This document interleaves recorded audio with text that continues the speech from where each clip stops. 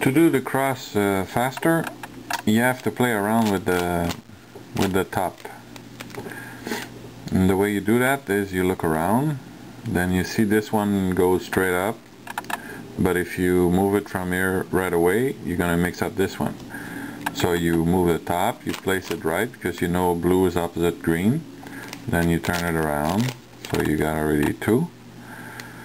And then you got your red. Uh, we're gonna go with the other one, orange.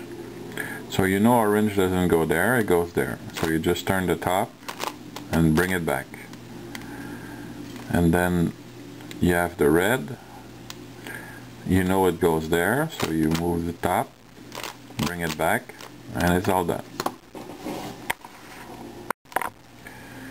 Example number one. Okay, so you look around, you know the red goes there, the green goes up there, the orange you place uh, with the same center, and the blue is already there. So what you do is you fix the red, you fix the green, then you bring up the blue, and then all you got to do is bring up the orange. So you turn the cube around and that's it. Example number two. So you got the orange goes there, the red goes there,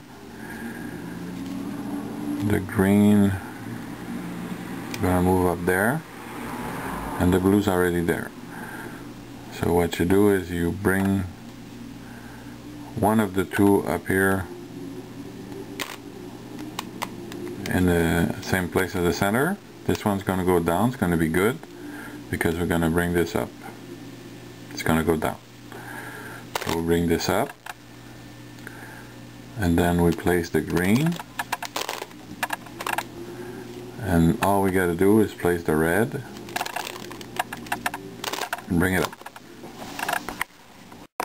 Example number three, when you have all your, we're going to do yellow again, when you have all your yellows in the center line, that's when you have to play a lot with your, uh, with the top. So you look around, you see the orange go straight, and the red's gonna go down, and the green well goes here, and the blue goes here. So you do is you bring this one up and then you know that the green goes here so it's a little far so you go for the blue and you know that the blue goes there same thing and the red so we're gonna put the red in just turn the top put the red in put it back and you know the blue goes there so you put the blue there, bring it back.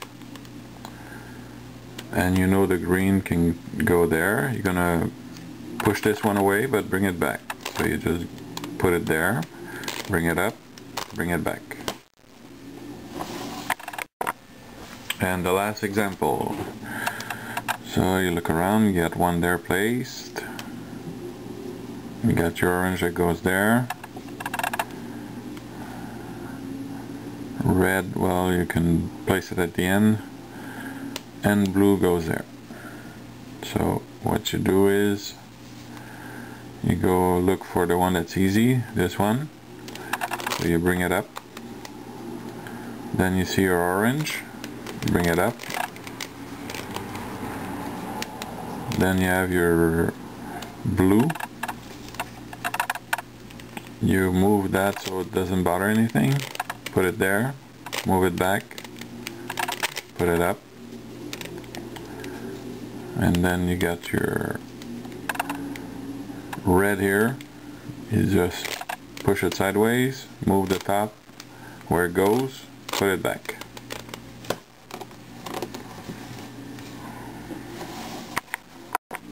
Okay, it was not quite the last one. I had uh, something to say before the end. So the trick is to play around with the top. You just got to remember that green is opposite to blue and red is opposite orange. so when you can remember that it's going to be easy. So let's say we do it uh, just with the top. So you know the red is opposite orange so you place it. Well you don't place it there because that's not the yellow part. Okay. So yellow goes there it's already in front of the red. And the orange is contrary to the red. So you turn the top twice put the orange there and bring it back. So your red and orange are in the right place. And then you have your blue. Well the blue is already placed. So you just bring it up. And you have your green. So you go where there's a or what you can do is okay. You move this one temporarily and you're faced with the green put it up and bring it back. So you gotta remember green's opposite to blue and red's opposite to orange and it's gonna help you out.